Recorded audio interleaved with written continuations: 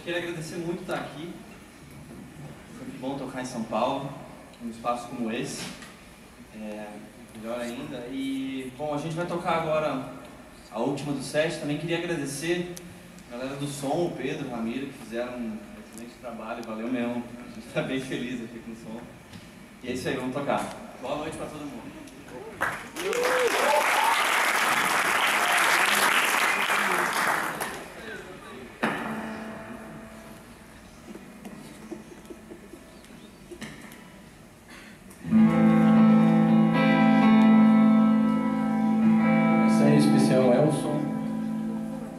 Heron, Matias, Pan.